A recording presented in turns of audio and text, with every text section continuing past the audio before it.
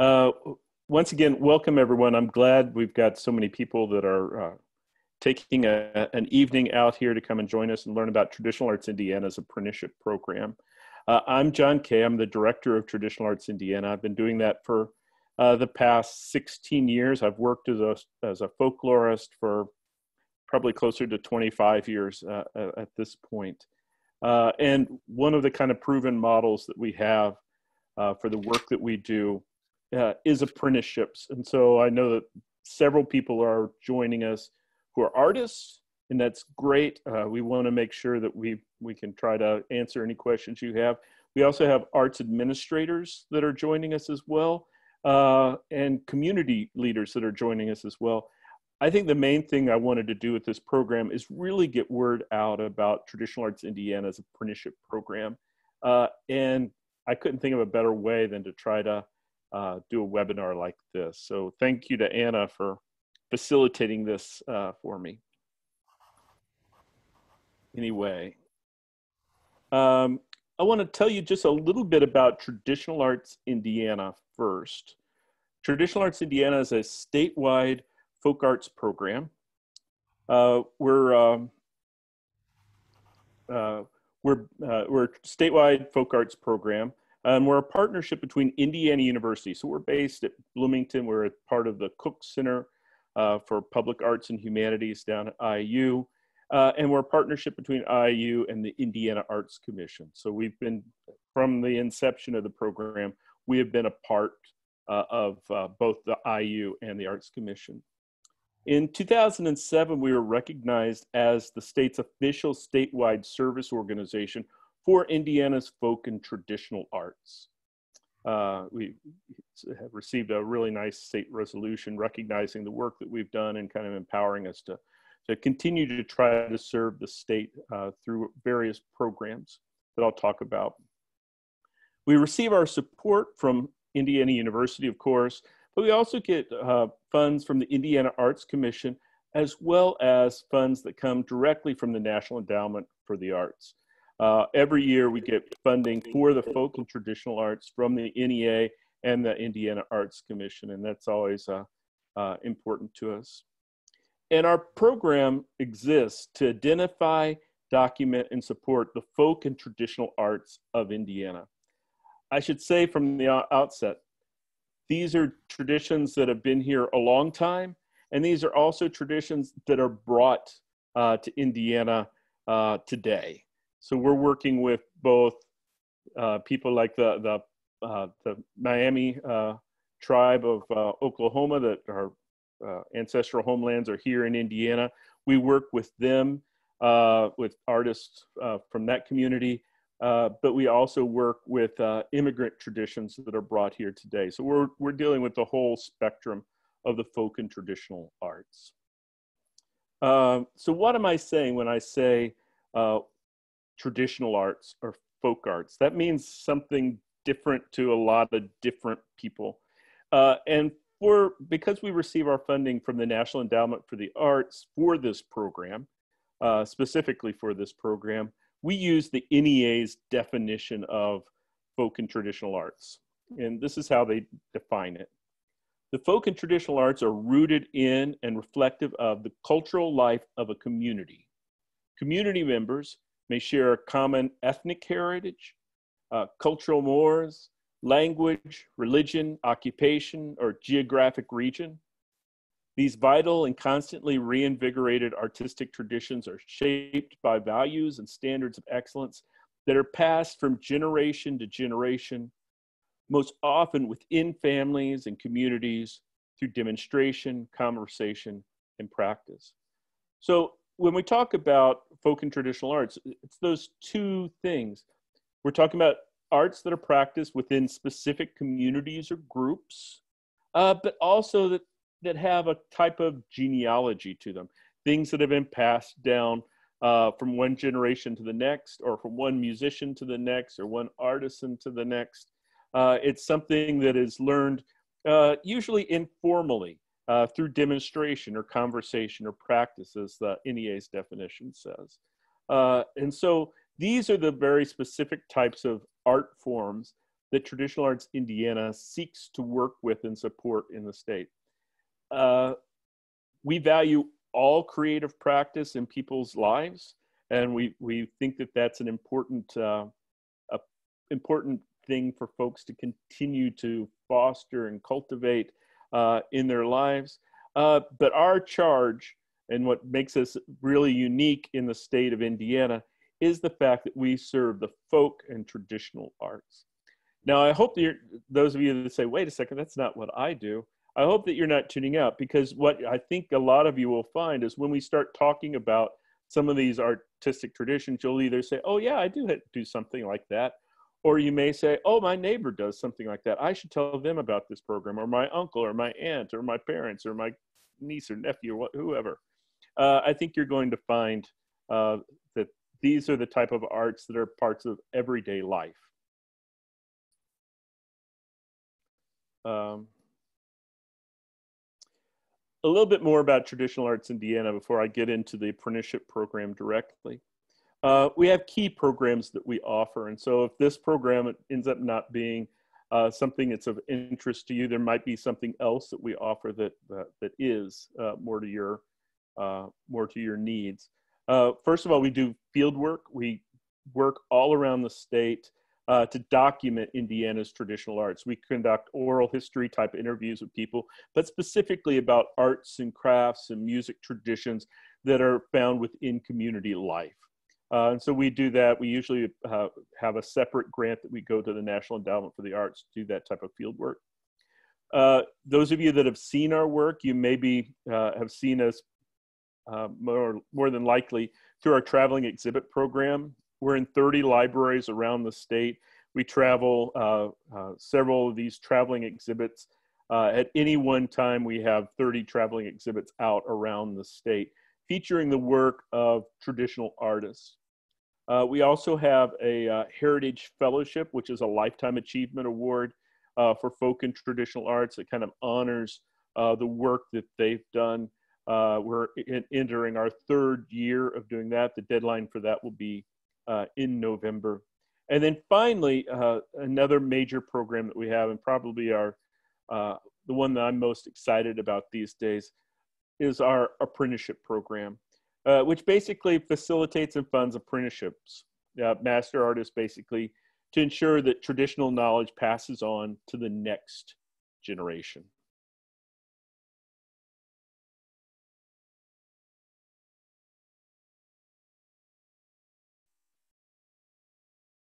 So what are we talking about when we talk about uh, apprenticeships?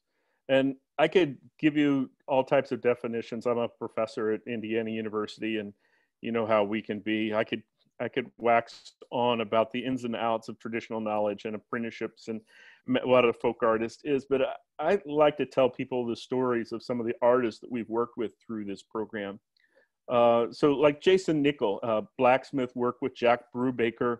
Uh, in Brown County, Indiana, Jack kind of established the aesthetic style of what ironwork would be like in, in that community. Uh, and um, he took on an apprentice, uh, uh Paolo here, and as well as Jason's daughter joined in, uh, Iris, and uh, they're, they basically ended up making this beautiful gate for the community orchard through their work. So you can see it's both rooted in time, three generations, you might say, but it also the work that they were doing was very localized. It wasn't just, oh, blacksmithing's a folk art. Uh, it has to be something that's rooted in community. Blacksmithing is folk art, but you have to tell us about that community and about that group. Uh, we've worked with Tony Artis. Probably some of you in the Indianapolis uh, know Tony and his son Andre here. Uh, Andre is an amazing uh, drummer. So is uh, is Tony. Uh, but son apprentice uh, to make sure that he knew how to not just play the drums, but to build the drums uh, that they were playing. And so there was this uh, this tradition uh, of African American drum making that passed on uh, between them. Uh, there's Jim Smoak down in Washington County in the southern part of the state. Jim played with Bill Monroe. He grew up playing old time banjo and bluegrass banjo. Uh, and he, he, took on an apprentice to teach his claw hammer and, and uh, three finger style of, uh, of banjo playing uh, to ensure that it, it uh, passed on to the next generation. Uh, there's Amelia Culfer, African American quilt maker from up in Fort Wayne, Indiana. Been basically a seamstress since she was six years old, making uh, just beautiful quilts.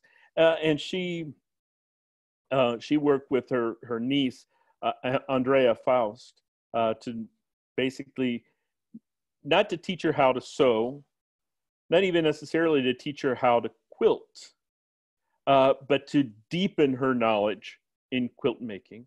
So it was passing on that traditional knowledge, Andrea was already participating in it. That's another important aspect, and we'll talk more about that uh, in a minute.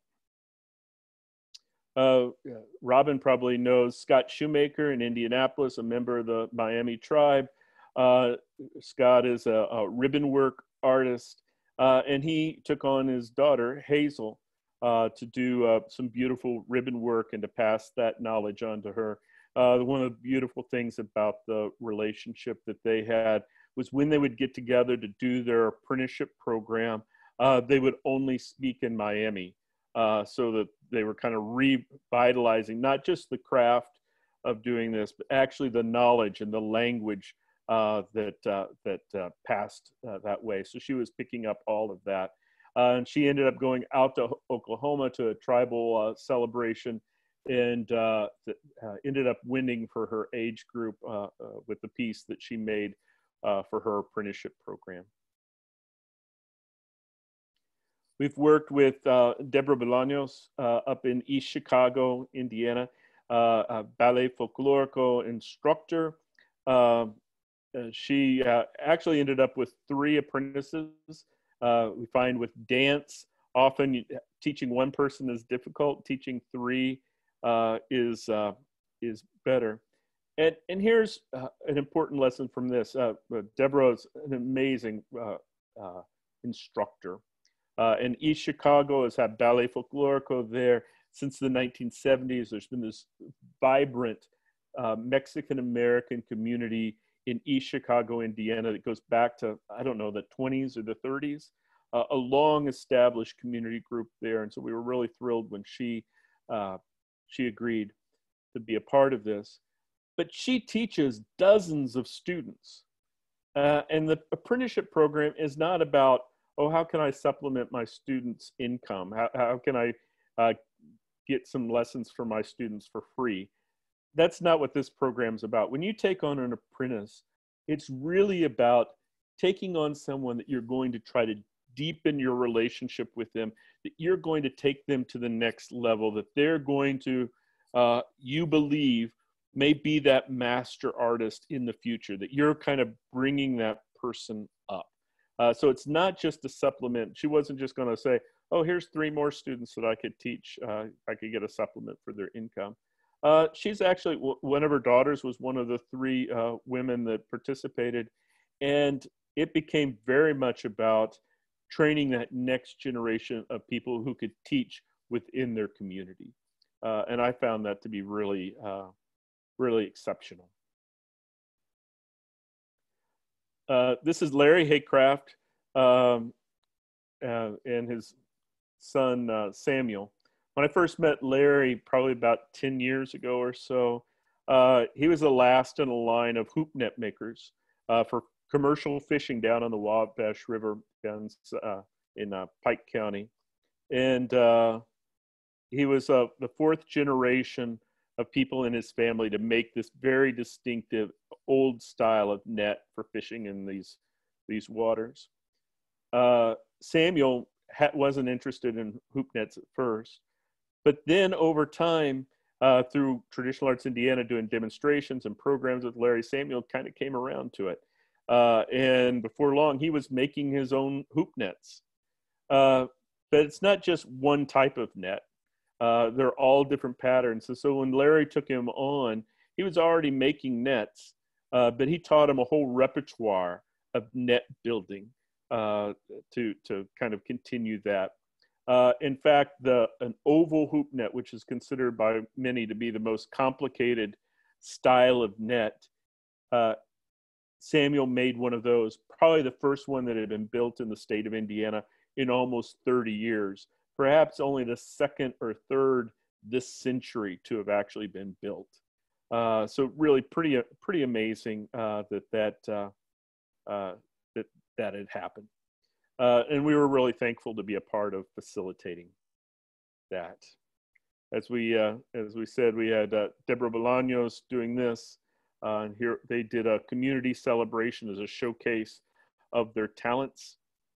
Um, so here's what the deal is. You can see Vicki there with with her uh, apprentice, Susan Harder, uh, doing beautiful willow work. I always try to include Vicki in all my programs.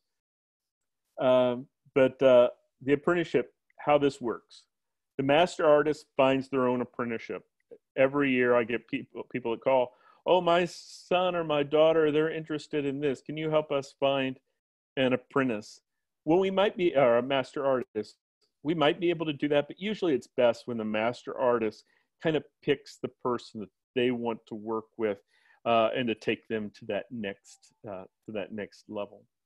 Uh, we basically will fund up to a year uh, year long support for an apprenticeship, uh, which is, comes to the master artist receives a three thousand dollar honorarium uh, for being a part of that. that three thousand dollars is for them. It's their payment for taking on this student this program, there are programs like this all over the United States, and they're designed in a whole variety of ways.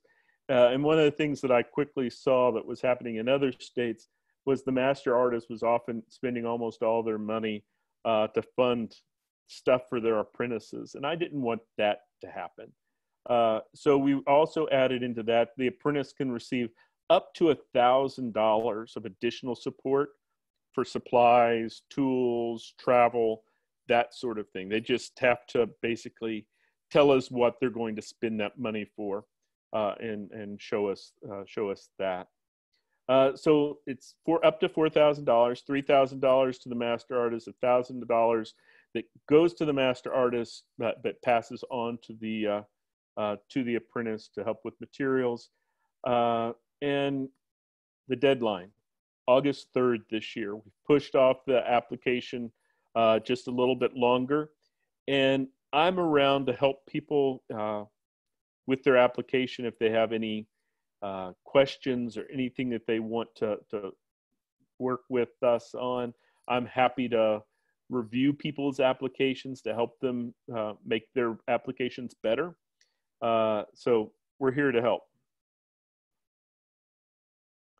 Here's some common mistakes uh, that end up happening. Uh, one is someone applies for something uh, and it's not a folk or traditional art. Now let me let me nest that. It's not that we're necessarily saying, "Oh, this is not a folk or traditional art." It is incumbent upon you to tell us why your art form is a folk and traditional art. Uh, just to say, "Oh, I make baskets. Baskets is a folk art."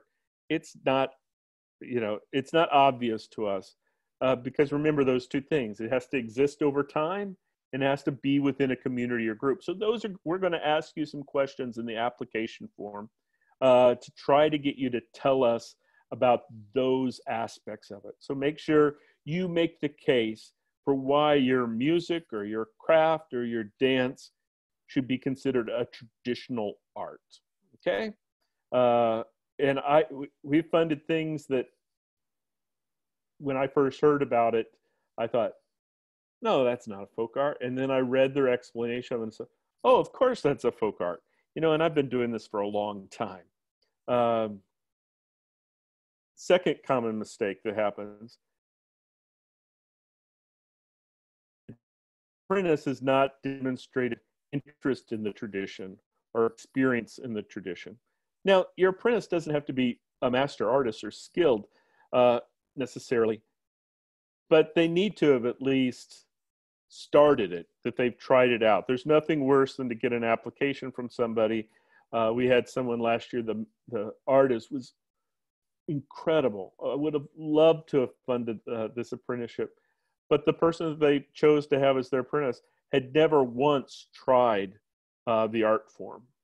Uh, and so it just didn't seem like a practical thing for us to do to, to take one of our six spots and invest into someone who's never even bothered to, to see if they like doing what they're wanting to apprentice. So the apprentice should have some type of history or trajectory or, or investment in, uh, in, uh, in that art form. The, the third is picking an apprentice who's not a member of the community to which the creative practice uh, is a part. Okay, so I, have worked with some traditional artists that grew up, maybe it might be in an immigrant tradition, uh, and that is the music that is part of that community. Uh, but then there's like a local artist that's decided that they're interested in that art form and they just want to learn that art without necessarily becoming part of that community. So since this is we're looking at arts that are rooted in community, we really want to make sure that we're focused on traditional arts um, and artists that are going to be there to support community life. This is really it's a we're entering into a partnership. These are really not so much grants, but they're partnerships where Traditional Arts Indiana is investing in a master artist and an apprentice But the idea that we can actually improve or cultivate uh, community life. And it's kind of, we're helping individuals, uh, but as a tool for supporting that community. So if you're picking someone from outside that community, it doesn't, uh, it won't necessarily support them. It just supports the individual. So that's, that's how we think about it, at least. Uh, so those are three common, uh, common mistakes. Uh, so if you know someone that we should uh, contact or you want to know more, here's some contact information for us. Uh, we're in this, uh, we're getting ready right now. we're COVID 19, we're not there right now, but in the fall, we'll be moving back into the Cook Center for Public Arts and Humanities on IU's campus. So uh, come see us uh, if you're there. And I'm happy to answer any questions that anyone has.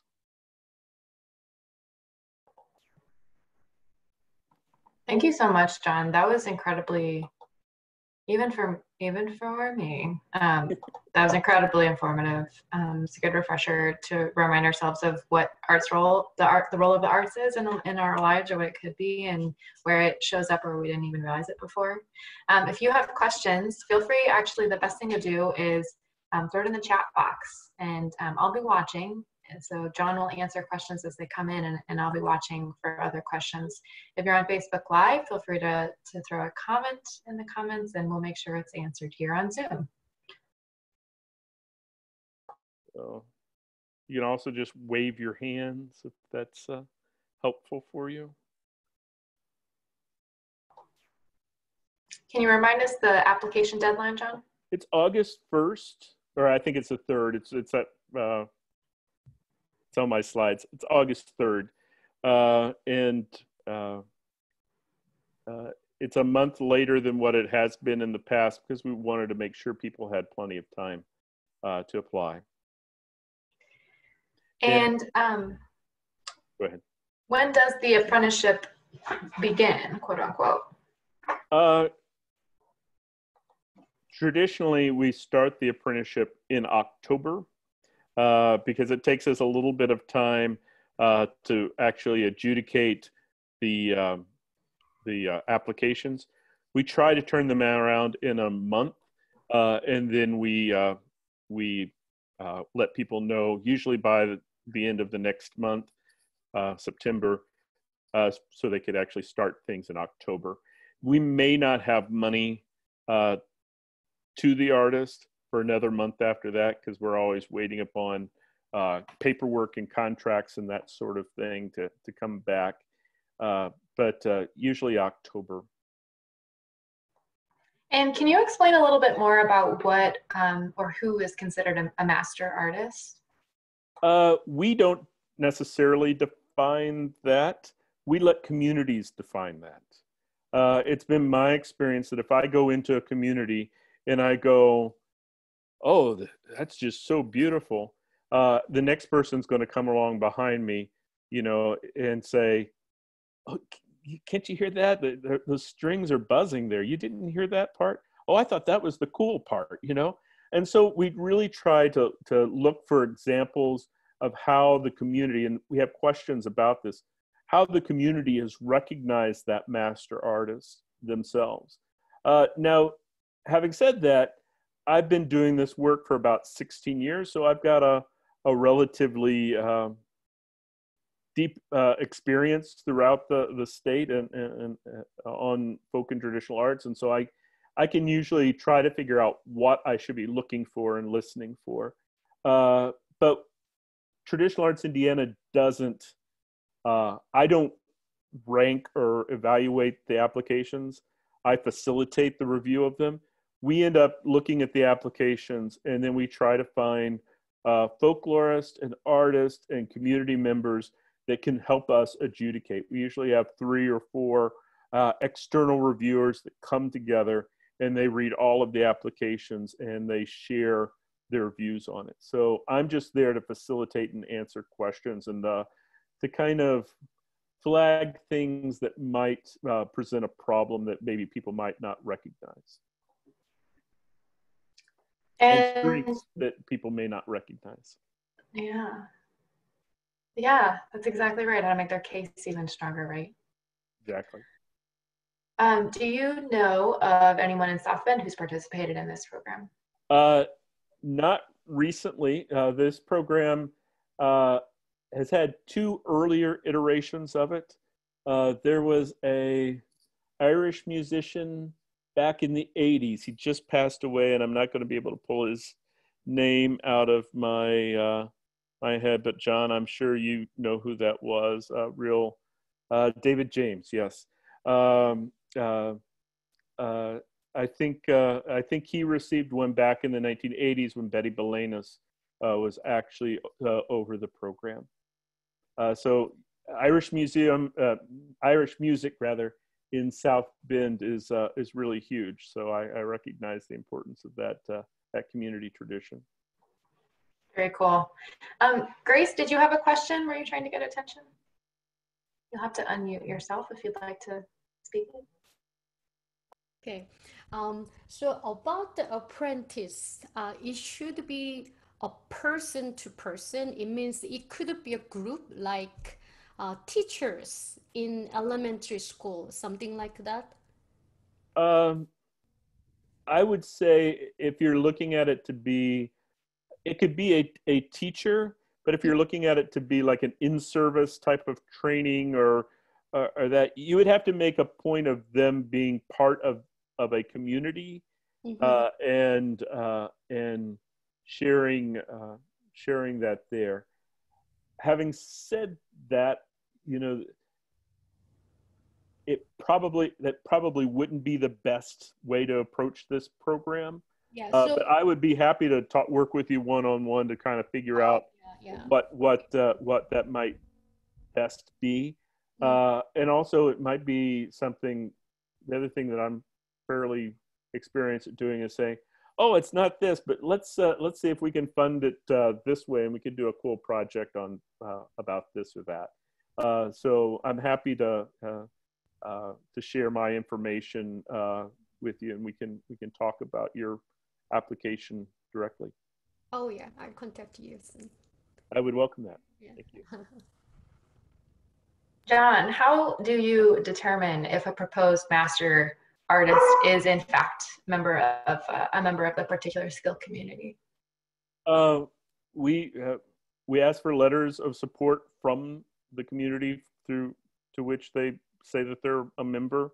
Uh, there are a few examples where it is uh, uh, it is incumbent upon them to to be forthright about their membership. I think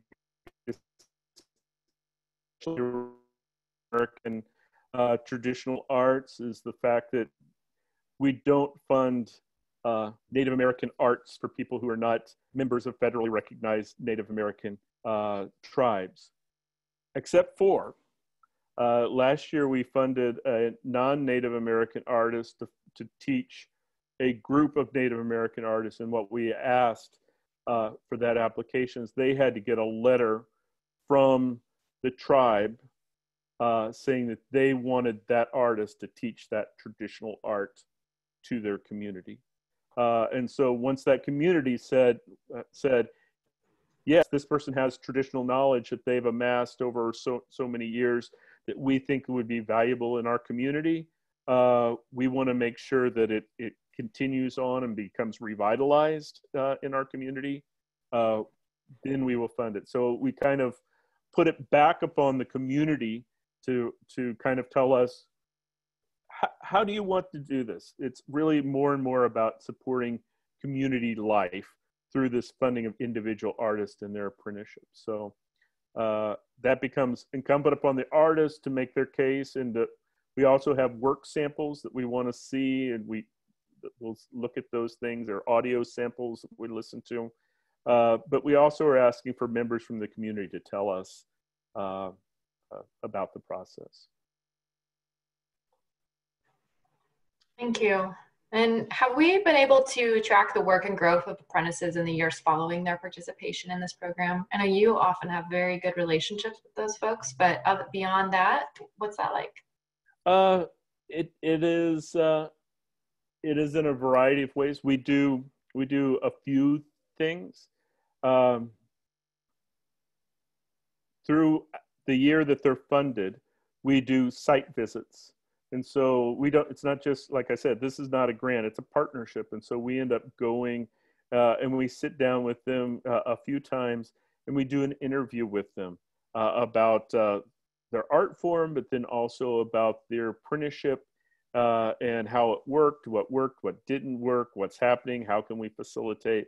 Uh, and we're getting hopefully we're getting better about doing that. We're trying to build in more resources associated with that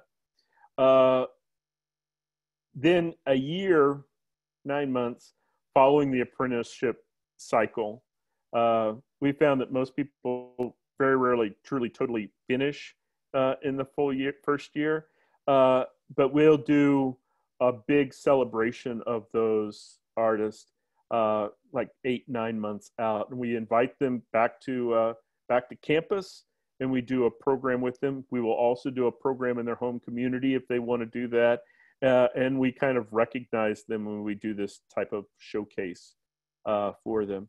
There have been uh, several uh, wonderful success stories uh, that we've seen uh, that have included things like I mentioned the blacksmith they just installed last month. A beautiful gate at the community orchard, all made out of this beautiful ironwork. there's been people like Dani Tippmann, a member of the Miami tribe, who uh, is teaching traditional plant use to her daughter. Uh, and uh, they've been harvesting wild rice for probably the first time in 200 years. Uh, you know, just pretty uh, amazing stuff where the apprenticeship that we funded for them actually becomes something that's an investment in that community. And so those are the types of things that we're hearing back. Uh, when we when we do it right, it's really we're funding these individuals, but it's really more about funding a community of practice. You kind of touched on this a little bit, but um, maybe you can provide some more detail. How, how do you really uh, determine if, if an apprentice applicant has the, the right level of skill or experience um, in the craft that they're really applying to partner with the with the with the master artist on, or is there even kind of a consideration of existing skill in that? I, I wouldn't say that there's necessarily. Uh, um, I don't think that there's necessarily a level, uh, but there is a commitment that we're looking for. Uh, you know that there's definitely someone's got to show that you know that they're going to be there. You know, saying you're going to spend a year with someone practicing and doing this, we want to make sure that there's um, uh, there's there's a commitment there. I know that uh, uh, I could, I don't think Scott would mind me saying this. Scott Shoemaker, his daughter Hazel, Um, I had a lot of caveats, and I told him this about him. His daughter is like eight years old, and I was like, "That's too young for an apprentice. How how can there be uh, this type of?" I, I, just wasn't sure it was a good uh, a good investment for us. Uh, but she uh, has done just beautiful work.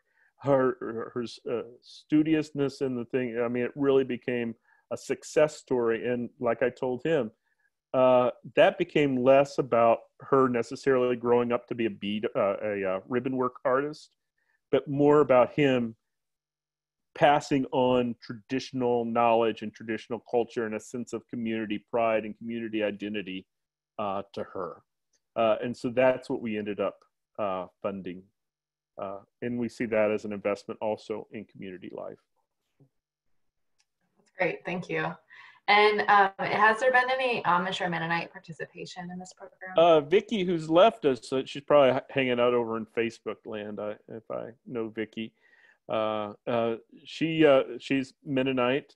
Uh, we've not had any Old Order Mennonite or, or Old Order Amish.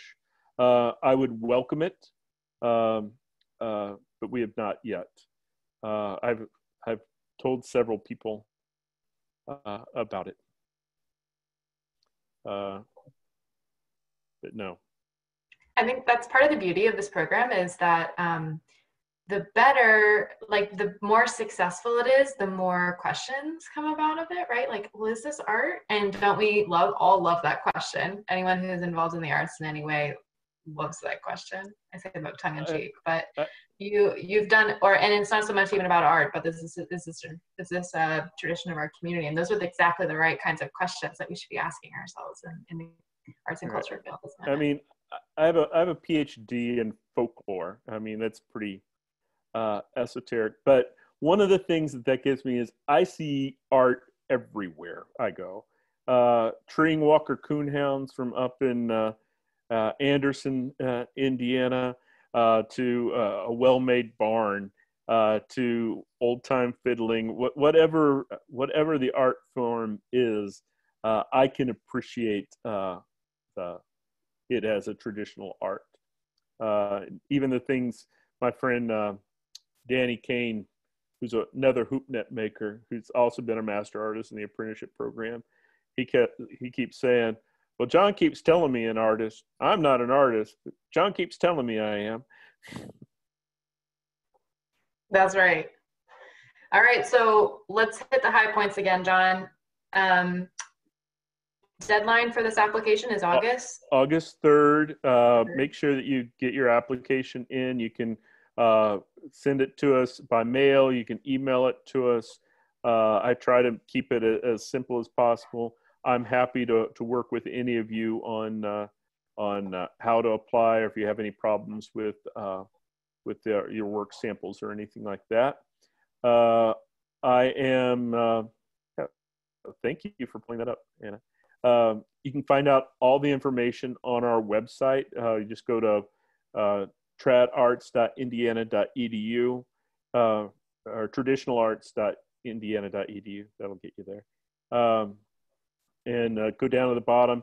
You can see examples of uh, previous recipients uh, our, through our booklets, our current recipients, our past recipients, and uh, uh, also the application form as both a Word document if that's useful for you or a PDF.